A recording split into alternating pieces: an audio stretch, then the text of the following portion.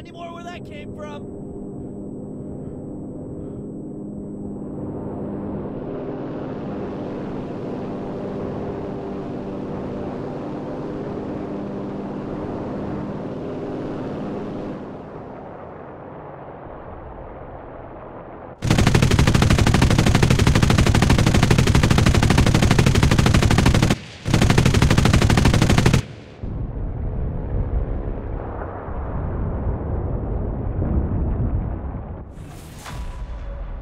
We've too many casualties.